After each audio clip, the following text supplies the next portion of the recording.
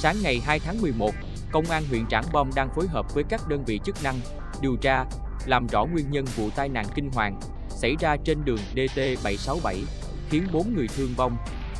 Thông tin ban đầu, vào khoảng 3 giờ sáng cùng ngày, xe tải mang biển kiểm soát 60C37713 chạy trên đường DT767 theo hướng đi từ huyện Vĩnh Cửu về huyện Trảng Bom.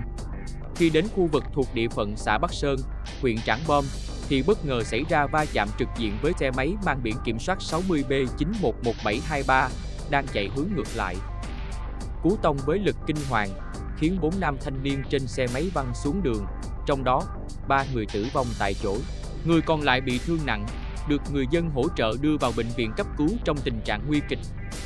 Nhận được tin báo, Công an huyện Trảng Bom cùng các đơn vị nghiệp vụ Công an tỉnh Đồng Nai đã khám nghiệm hiện trường, trích xuất hình ảnh camera an ninh điều tra, làm rõ nguyên nhân vụ tai nạn.